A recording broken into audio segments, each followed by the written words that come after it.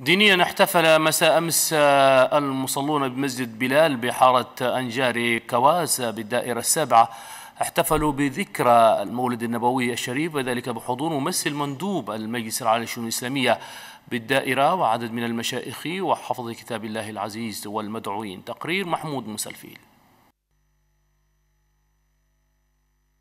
تشهد هذه الأيام العديد من ساحات مساجد العاصمة أنجمينا وضواحيها وبعض الأقاليم قراءة القرآن والمدائح النبوية المختلفة وذلك بمناسبة الاحتفال السنوي بذكرى المولد النبوي الشريف.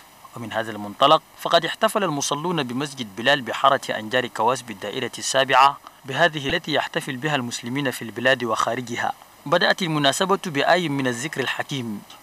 بعد ذلك جاءت عدة كلمات حول الاحتفال بهذه الذكرى المجيدة التي تحتوي على الأذكار وقراءة القرآن فضلا عن المدائح النبوية المختلفة من قبل المادحين بذكر مناقب المصطفى عليه الصلاة والسلام أفضل البشرية. تذكرتها الذكرى تكدر للمحيا.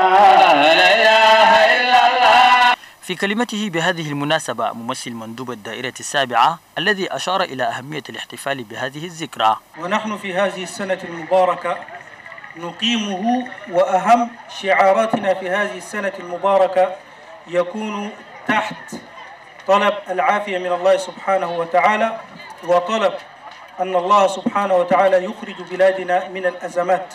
هذا وفي نهاية المناسبة رفع الحضور أكفهم تضرعا لله عز وجل بأن يمن البلاد بالأمن والصحة والسلام وأن يديم لجميع المواطنين الاستقرار ورغد العيش في كافة ربوع البلاد.